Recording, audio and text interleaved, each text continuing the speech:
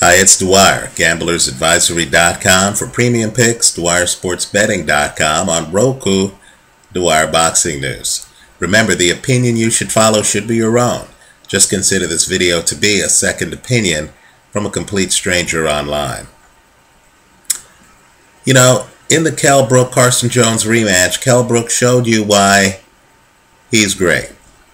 Right? Very short, straight punches right? Kell Brook, you know, was able to literally dole out power shots very quickly with very short punches that were very straight, right? Even his body shots, he would lean in, his punches didn't have a loop on them. Now compare and contrast that with Edwin Rodriguez's destruction of Denis Grachev in a fight that you have to see because it marks a major arrival. Understand, boxing is rock, paper, scissors.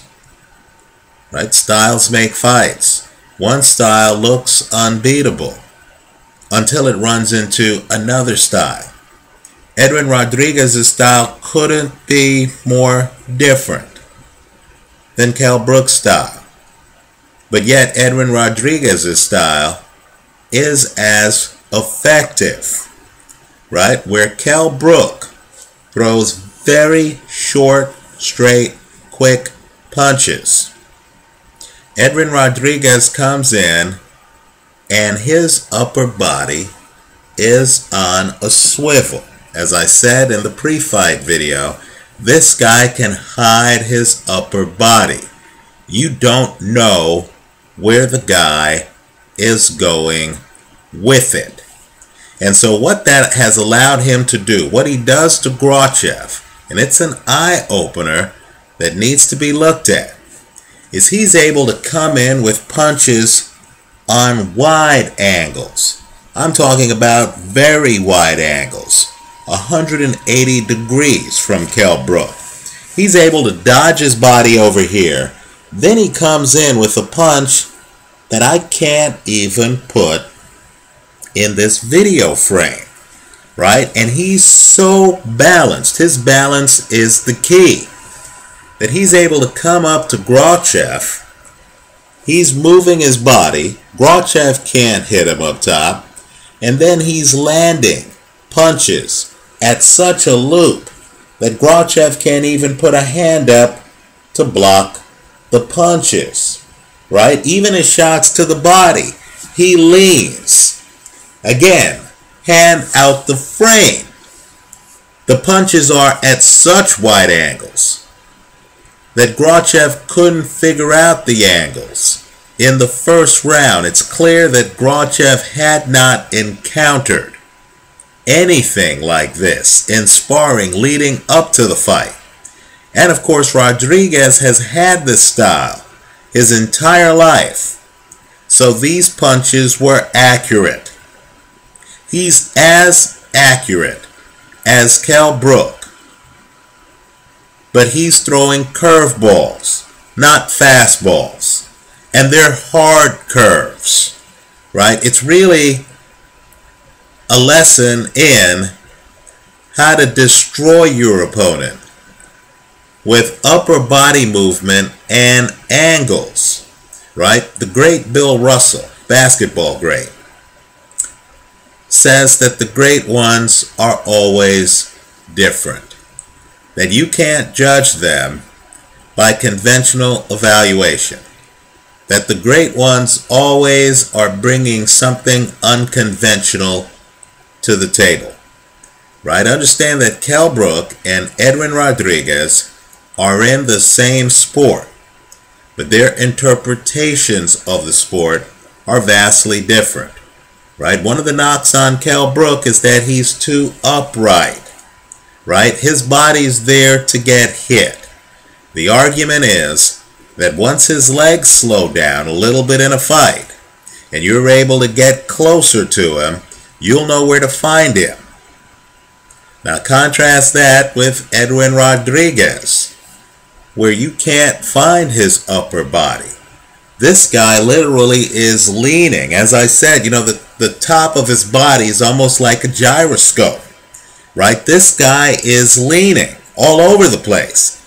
And of course, he's throwing punches at angles where you really can't figure out exactly when the punch is going to land.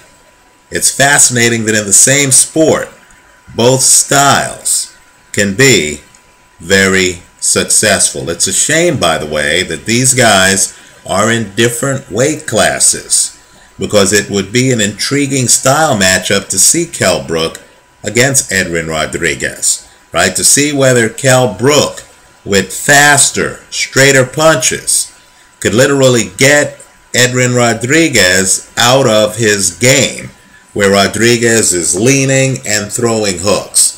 In any event, Denis Grachev, a fighter who normally is able to operate from the outside, right? You would have thought that this fight would have gone a few rounds. But incredibly, Grachev gets overpowered.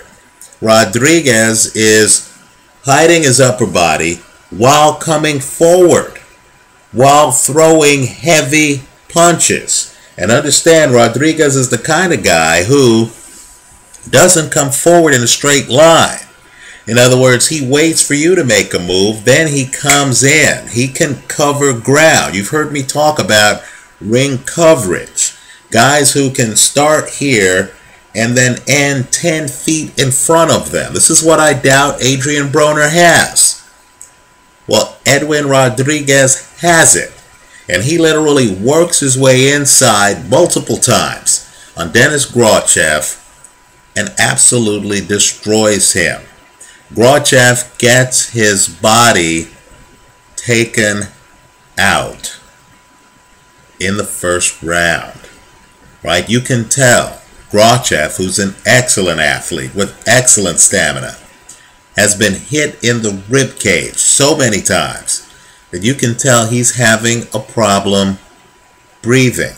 He doesn't know what's going on. The Edwin Rodriguez performance is easily one of this year's most dominant performances by any fighter in any weight. I believe I've posted a link to the fight on DwyerBoxingGame.blogspot.com. Give it a look. It's compelling.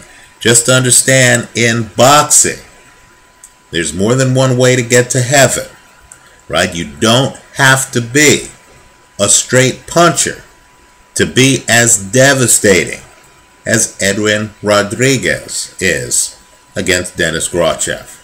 Let me hear from you. Leave your comments for me here online. Visit us at gamblersadvisory.com and hypothetically, tell us who you think would win a fight between Kell Brook, very fast, very straight puncher, but very upright and very in front of you, and Edwin Rodriguez, punches with a loop, but elusive, not quite in front of you. Power shot heavy. Let me hear from you. Thanks for stopping by.